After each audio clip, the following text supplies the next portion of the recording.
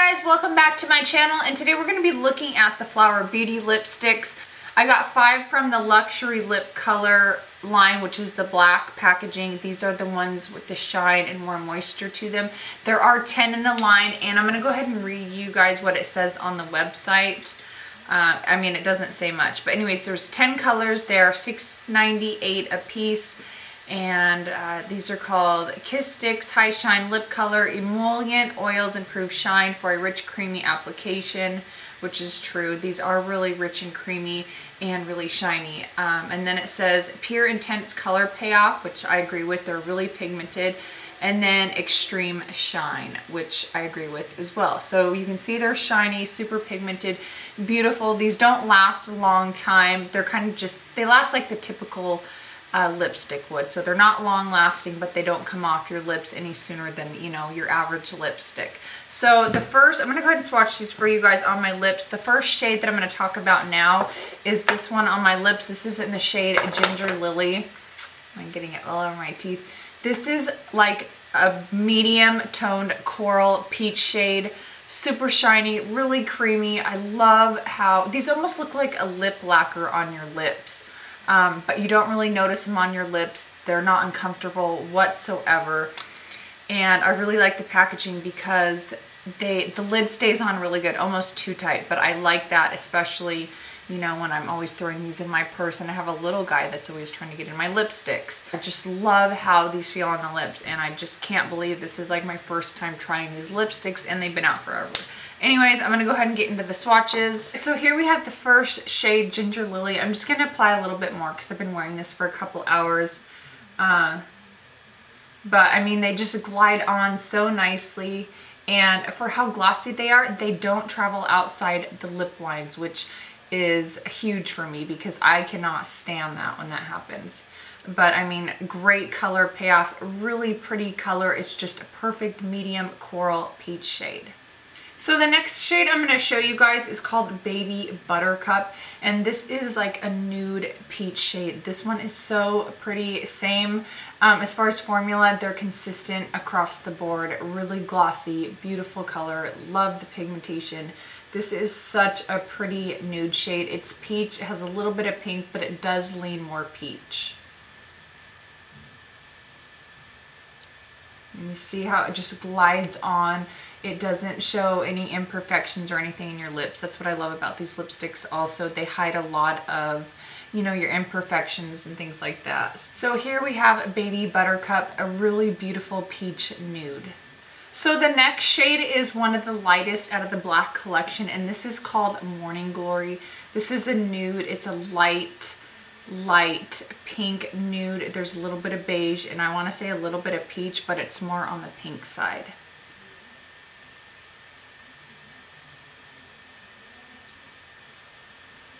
So here we have the shade Morning Glory. This is a really light nude, but I think I can pull it off, especially if I wear a lip liner. All right, moving on to one of their red shades in the line. This shade is called Rosebud, and it is so pretty. I love this red shade.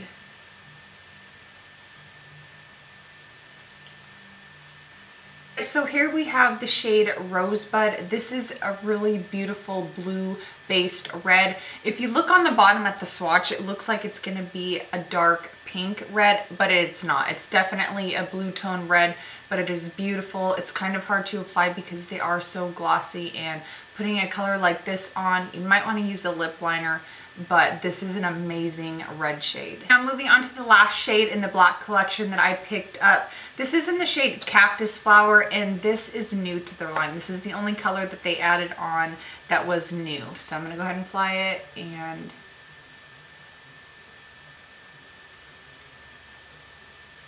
So as you can see, it's orange, but there's a little bit of red in this orange to make it more wearable.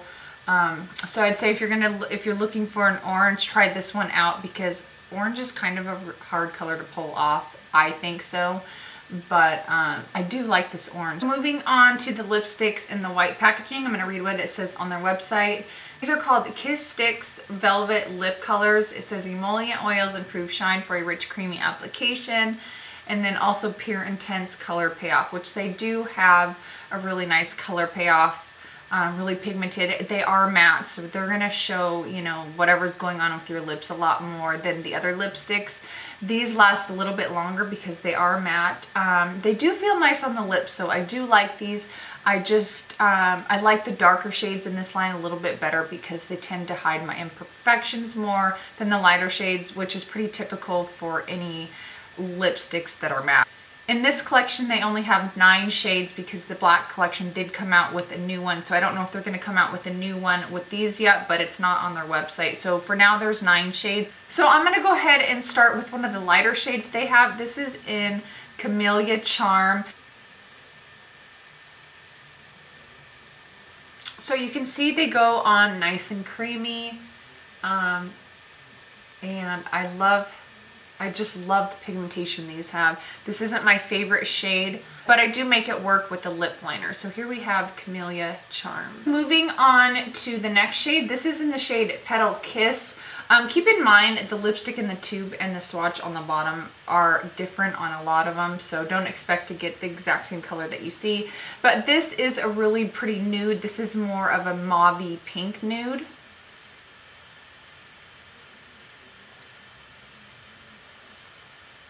Is a beautiful nude and for being matte it does look really nice on the lips and it also feels nice. You can kind of uh, feel when you, you know, press your lips together the oils that they put in them that they're talking about. But I can definitely see this shade working for a lot of skin tones. And this is the shade that Drew Barrymore claims that can work on every skin tone. And you know what? I can kind of see that because um, it's soft enough for lighter skin tones, but it's deep enough for, you know, deeper skin tones. Um, and it just has that perfect mauve and pink undertones in it that just look really beautiful. This is one of my favorite nudes in my entire collection. Moving on to the shade called So a Gladiola. This is a beautiful peach shade. It's really vibrant. It's kind of um, that mid-tone peach shade that's really brightening. It comes off on your lips brighter than it looks in the tube. I love this shade. This is really beautiful.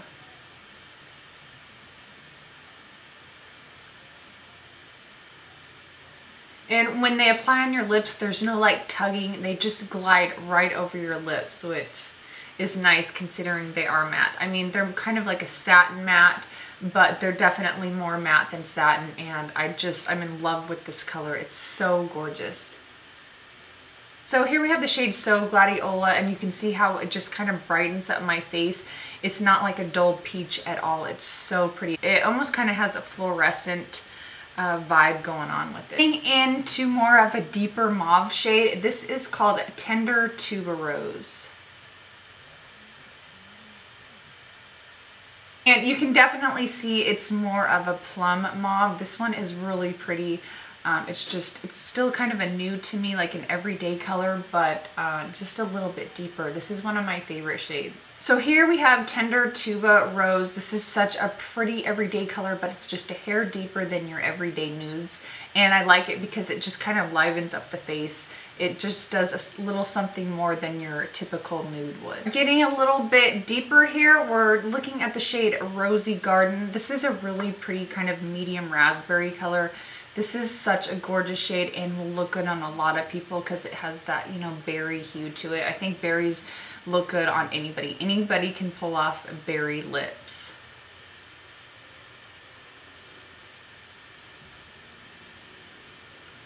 Rosy Garden. I feel like this shade is the perfect mix of warm and cool so it doesn't make your teeth look yellow.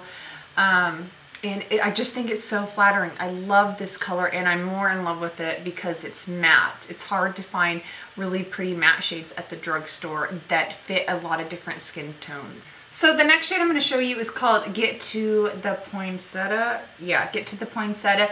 And I like this because this is a red, but it doesn't lean too blue or too orange. It actually leans more to the coral side. So this is kind of a unique red. I do love this color. This is like a really good summertime red. So here we have Get to the Poinsettia. Like I said, perfect summertime red. This color is so pretty. It's kind of a fluorescent red coral shade. I love this. Beautiful, beautiful red and unique.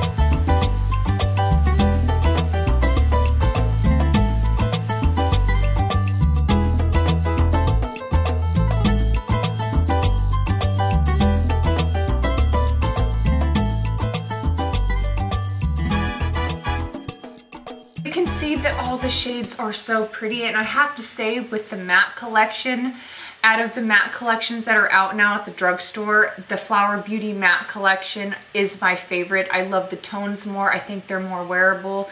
Uh, don't get me wrong, I love the Milani matte lipsticks and the Maybelline, but as far as how they look on my skin tone personally, they every shade pretty much goes with my skin tone. There's the formula, I love these.